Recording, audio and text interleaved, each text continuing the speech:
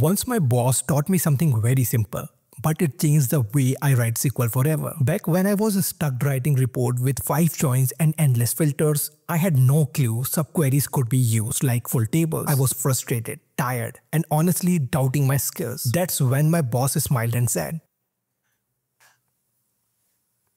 Why struggle when SQL gives you a shortcut? Use subqueries like tables.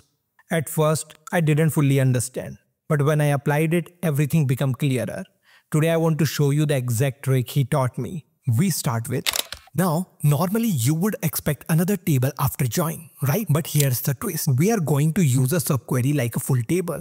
This subquery groups the data and finds the max salary in each department. SQL treats it like a temporary table and we assign it an alias dept underscore max. Then we join it back to our main employees table what do we get? Only the top earners from each department in one clean, elegant query. If you want to master these kinds of smart, real-world SQL tricks, my new SQL training batches are starting soon.